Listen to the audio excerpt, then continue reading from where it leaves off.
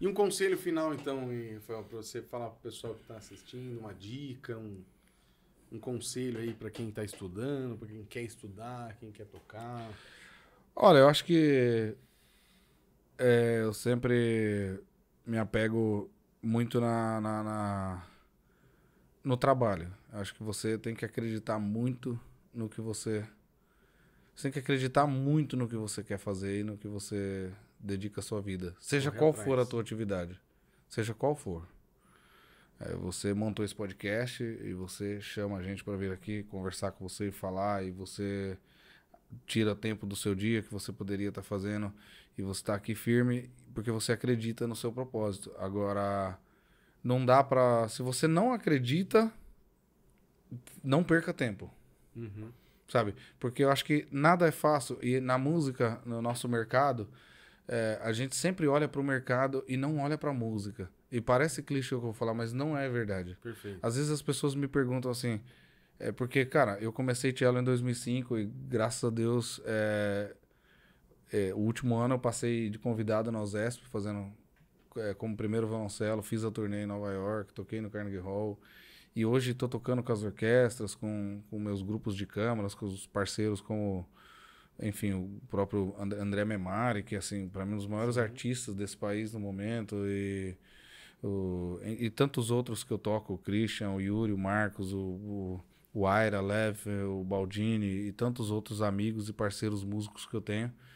E, e assim, a verdade é que tudo isso foi, essas, essas coisas surgiram por acreditar muito na, na, música, no projeto e no trabalho musical, artístico, sabe? Eu ainda sigo acreditando e, e, e mesmo quando algo não dá certo é, ou a frustração, alguma coisa, eu sempre volto para a música.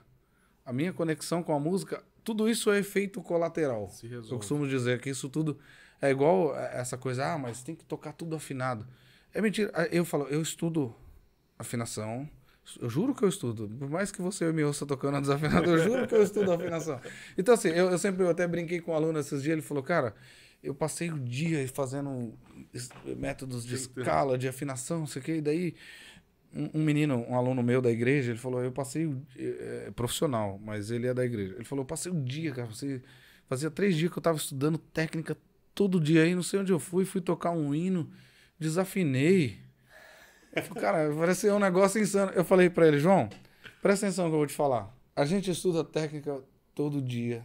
Eu juro, todo dia eu estudo, tento estudar o máximo assim que posso. Eu adoro fazer serve seek de arco, de escala, de uhum. tudo, mas mudança de posição até hoje, essas coisas. Falei, quando a gente vai tocar, o que, o que você toca afinado é efeito colateral do teu estudo. O resto é, são coisas que se você não deixar de tocar, é por isso que eu sempre falo que no momento da música, no momento que você está no palco, no momento de, de, se entregar e tocar uma música, é, isso não pode estar em primeiro plano.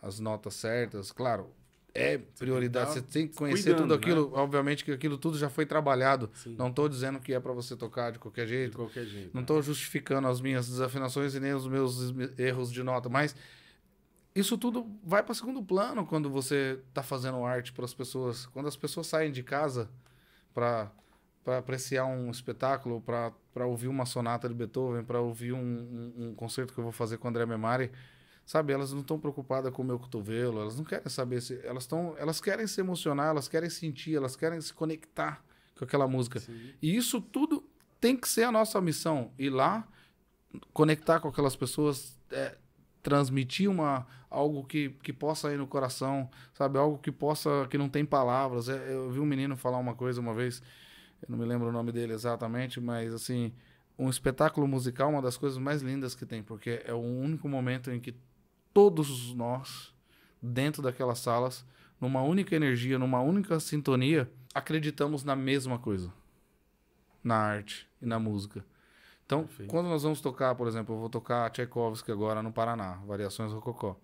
Cara, todo aquele teatro, todos aqueles músicos, eu, o maestro, todos nós concordamos que o Tchaikovsky fez um, uma belíssima obra para nossa. Então todos nós estamos conectados naquela mesma obra. Então isso gera. Então isso tudo está muito além da, das oitavas no finais, que eu vou tentar acertar, ali. mas sabe, eu já trabalhei elas, elas não estão indo lá preocupado com as oitavas do final. Eu estou preocupado se as pessoas vão sair dali e vão ter se conectado com a música do mestre. E as oitavas caem no Almeida as, as oitavas são é um efeitos colaterais. é um detalhe. Ali até que pode ser, mas... E, e, e, quando você vê os grandes tocando, ao vivo, você percebe isso. Você percebe isso. Eu não estou aqui para expor ninguém, muito menos os grandes, os nossos ídolos, os nossos mitos. Mas você pode, se você reparar bem nas performances é ao vivo, eles não estão muito preocupados com coisas. Você, assim, nossa, o fulano passou aqui e se perdeu, deu branco, não sei o que tem. Ele não fez de qualquer jeito, ele estava preocupado com outra coisa. Se você foi lá e só viu isso, você perdeu a grande chance de se conectar com uma música. você perdeu a grande chance de se conectar com um evento é. incrível. Verdade. É isso, acredita. E só para terminar, depois